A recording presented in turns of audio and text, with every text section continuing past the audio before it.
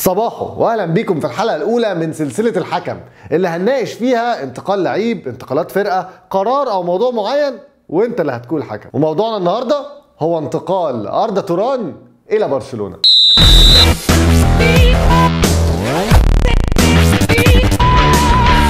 توران تحول من عيل صغير بيلم كور في الكامب نو إلى لاعب في الفرقة دي. قدر إن هو يحقق الحلم بتاعه في صفقة تكلفتها 41 مليون يورو ب 6 مليون يورو حوافز. عشان يصبح أغلى لاعب في تاريخ تركيا. ولكن هل صفقه انتقال توران إلى برشلونه جول ولا طلعت offside اولا ال refund فبعد ما فشل رئيس برشلونة بارتوميو في إنه يضم بول بوجبا ب 80 مليون يورو من اليوفي واترفض عرضه فقرر إن هو يعمل محاولة أخيرة لدعم ملفه الانتخابي بإنه يشتري اردا توران قبل الانتخابات بأسبوعين. وعلشان لو انتخبوا رئيس جديد ما يلبسش وفي ظل العروض الرمضانية الكاسحة في الأسواق اردا توران جيب refund فحطوا بند في عقده يسمح للرئيس الجديد قبل يوم 20 يوليو إنه يرجع توران تاني لأتلتيكو مدريد وبرشلونة ياخدوا فلوسهم ناقص 4 مليون يورو. برشلونة هيدفعوا إجمالي في توران 41 مليون يورو.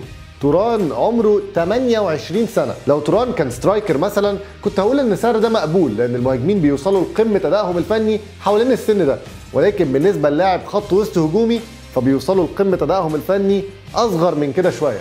وبالتالي لو كان المبلغ ده اتدفع في لاعب زي كوكي مثلا اللي عنده 23 سنة كنت هقول إنه مبلغ هايل. ولكن في توران اللي عمره 28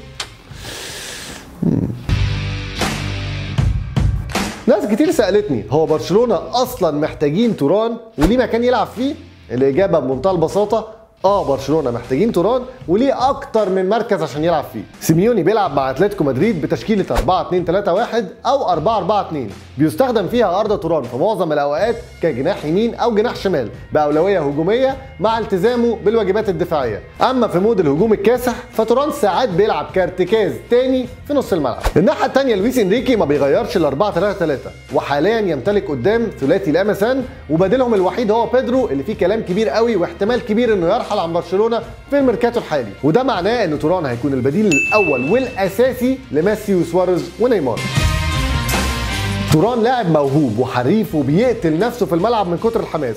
ولكن الحماس ده بقى ساعات بيخرج على الحدود. فلو ده يمشي زي الفل في أتلتيكو مدريد مع سيميوني تحت عباية البلطجة فأكيد ما يمشيش تحت مايكروسكوب برشلونة. وعباية الكورة الشاملة النظيفة العفيفة. وزي ما حطوا للويس سواريز بند في عقده ضد العض.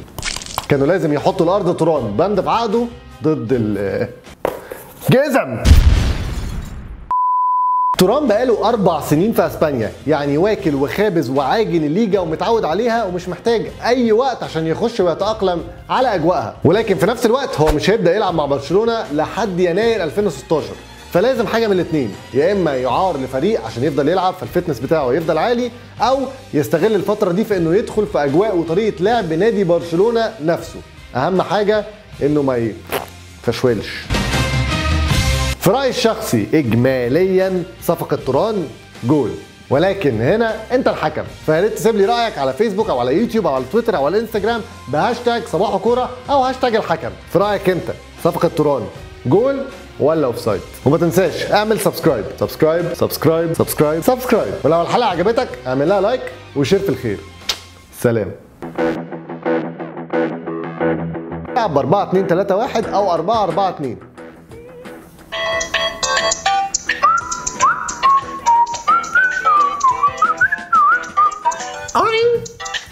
لو الحلقة عجبتك اعمل لها like و share في الخير. سلام. ب 4 2 3 1 أو 4 4 2